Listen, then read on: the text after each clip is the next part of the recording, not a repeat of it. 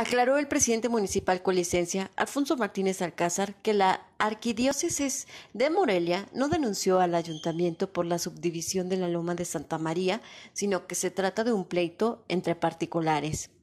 Luego de que en un medio de comunicación local circulara la información de que el presidente con licencia tiene una demanda en su contra, interpuesta por la arquidiócesis de Morelia, según por la doble venta de terrenos a la Loma de Santa María, propiedad del seminario y que recientemente fueron concedidos a un particular, Martínez Alcázar lo desmintió.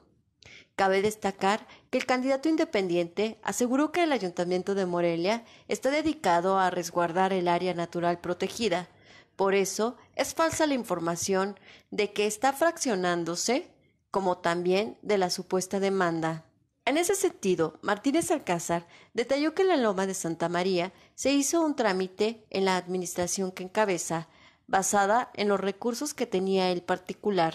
Fue así que se otorgó la subdivisión. Destacó que el particular cumplía con los requisitos, por eso accedió el municipio a entregar la subdivisión, pero con la consigna clara de que no se podía fraccionar ni construir en el área protegida.